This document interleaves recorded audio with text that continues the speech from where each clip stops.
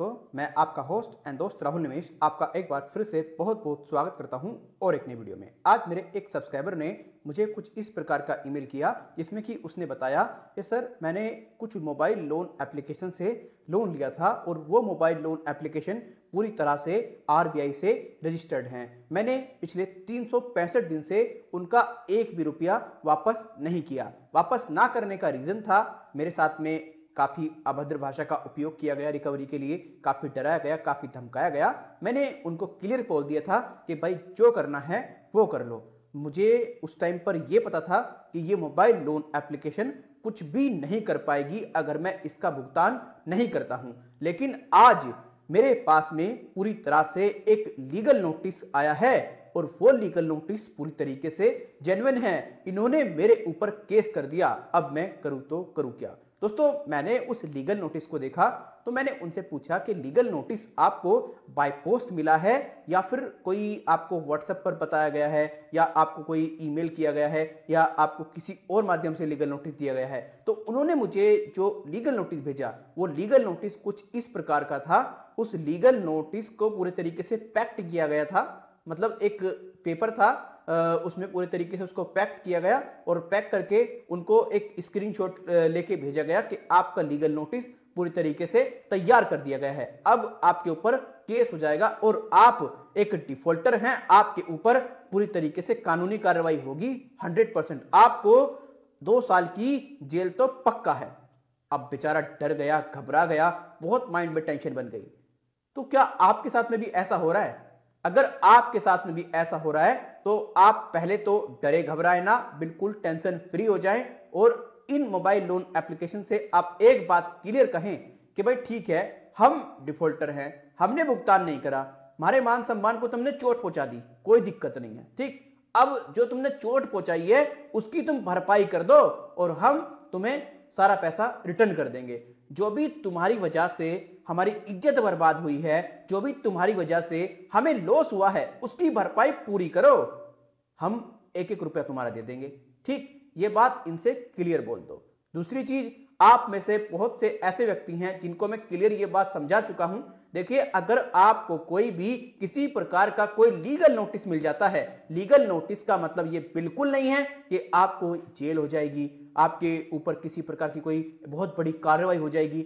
भैया legal notice का मतलब सिर्फ़ इतना है कि सामने वाला बंदा आपसे लीगल तरीके से बात करना चाह रहा है राइट जब आपके ऊपर तब केस किया जाएगा, दो से तीन लीगल नोटिस आपको भेजे जाएँगे और अगर आप लीगली तरीके से किसी प्रकार का कोई रेस्पॉन्स नहीं करते हो, उसके बाद में जब जाकर के कहीं केस वगैरह किया जाता है। और ये जो छोटी छोटी मोबाइल लोन एप्लीकेशन है, भले ही ये आरबीआई से ऑथराइज हैं ये आपको हज़ार, दो हज़ार रुपए का लोन देती हैं। लेकिन ये बहुत सारी ऐसी एप्लीकेशन हैं जो कि अवैध तरीके से काम करती हैं। ये लोन तो आपको दे देती हैं हज़ार, दो हज़ार रुपए, लेकिन वो पूरे तरीके से अवैध तरीके से दिया होता है। तो ये आपका कुछ भी नहीं कर सकती, जहाँ तक मेरा अनुभव कहता है, जहाँ तक मेरी नॉलेज कहती है। लेकिन फिर भी आपको सिक्योर रहना चाहिए, आपको अवेयर रहना चाहिए के ऊपर ये किसी प्रकार की कोई कंप्लेंट करें, आप इनसे पहले कंज्यूमर फॉर्म में पहुँच जाओ और आप इनके ऊपर केस ठोक दो। भाई साहब 101 परसेंट आपको पूरी तरीके से बेनिफिट होगा, ये बात आप ध्यान रखिएगा, क्योंकि आज की डेट में मैं किसी एप्लीकेशन का नाम तो नहीं लेना चाहूँगा, लेकिन मैक्सिमम एप्लीकेशन फ्रॉड काम कर रही हैं, फर्जीवाड़ा कर रही हैं। लोगों को हज़ार दो हज़ार रुपए का लोन देकर के उनसे हैवी वसूली करती हैं कि हम फलाना कर देंगे, हम टिकाना कर देंगे और उनके जो तार है कहीं ना कहीं चाइना से जुड़े होते हैं। मैं बहुत सारी एप्लीकेशन आए दिन देखता हूँ। अगर मैं किसी एप्लीकेशन का नाम लूँगा तो फटदेसी क्या करेगी वो एप्लीकेशन मेरे चैनल पर एक कॉपीराइट स्ट्राइक मार देगी, बस, और इससे ज़्यादा कुछ नहीं करती। हालाँकि चैनल वगैरह की तो कोई अपन को टेंशन नहीं है चैनल बहुत है, कोई दिक्कत नहीं है। लेकिन सच्चाई सिर्फ़ इतनी है, भैया, अगर आपने लोन ले लिया है, कोशिश करें, अगर आपके साथ में गलत हुआ है, आप तुरंत इमीडिएट बेसिस पर उसकी कंप्लेंट दर्ज कराएँ और आप जितना हो सके टेंशन फ्री रहें। ये आपका कुछ नहीं करेगी। सिंपल सी बात एक ये है, अगर फिर भी ये कुछ करती है तो भाई सीधी सी बात है, कर लो भाई। आपके पास में एविडेंस तो है ना, आपके साथ में भी गलत हुआ है, करो भाई। भाई कोर्ट में केस जाने का मतलब है कि भाई 20-25 साल तक पूरे तरीके से भैया सिविल का मामला चक्कर काटते रहो, करोड़ों केस पेंडिंग में पड़े रहे, कुछ नहीं होता, क्या होता, कुछ नहीं होता, कर लो भाई। और हज़ार दो हज़ार के ऊपर ये क्या केस करेंगे? लॉजिकली कुछ सोचो तो सही। भाई, हज़ार दो हज़ार रुपए तो आज की डेट में वकील ले ले। छोटे से काम के लिए भी चले जाओ आप।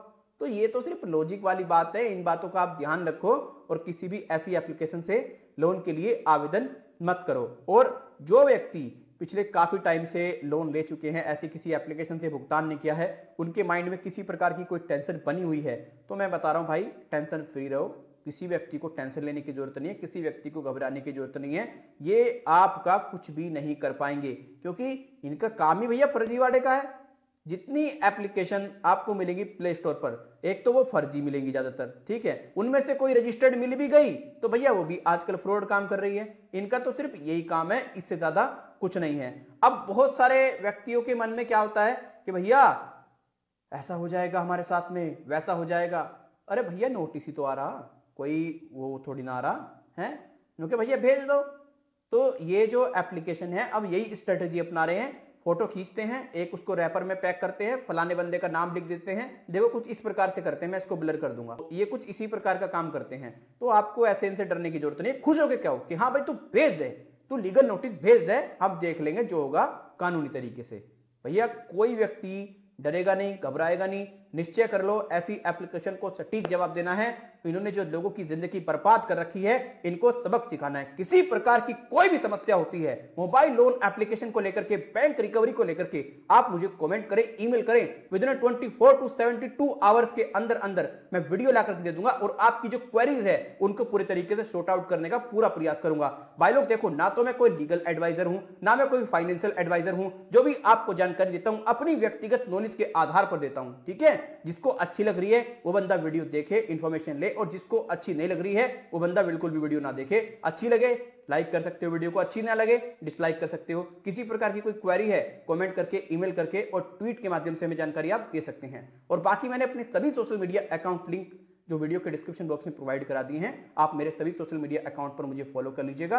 और मेरा एक टेलीग्राम पर भी चैनल है छोटा सा जिसका लिंक मैं आपको वीडियो के डिस्क्रिप्शन बॉक्स में तो दूँगा ही दूँगा, साथ ही पिन कमेंट में दे दूँगा। और कमेंट में ज़रूर बताएँ, आपकी टेंशन खत्म हो गई है क्या क्या आपको भी पूरे तरीके से ये लोग लीगल नोटिस भेज रहे हैं इस प्रकार का? अगर कोई भेजे तो भैया, अगर हाँ बाय पोस्ट भेजा जाए ना तो बस एक नोटिस इग्नोर मत करना, जो कि कोर्ट से आता है, उस पर पूरे तरीके से स्टैंप लगी होती है, और उस पर नंबर वगैरह ही प्रॉपर होता है, आप ई कोड डाउनलोड करके उसको पूरे तरीके से चेकआउट कर सकते हैं, और एक चेक बाउंस का नोटिस होता है, उसको इग्नोर मत करना, चाहे किसी का भी हो।